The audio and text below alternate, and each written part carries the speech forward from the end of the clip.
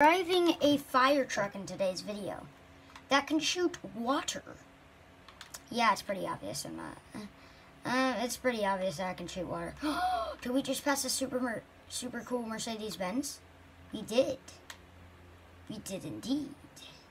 Dodge Viper. Um, that Mercedes-Benz is getting. There's a Corvette. Um, Mercedes, we're right behind you.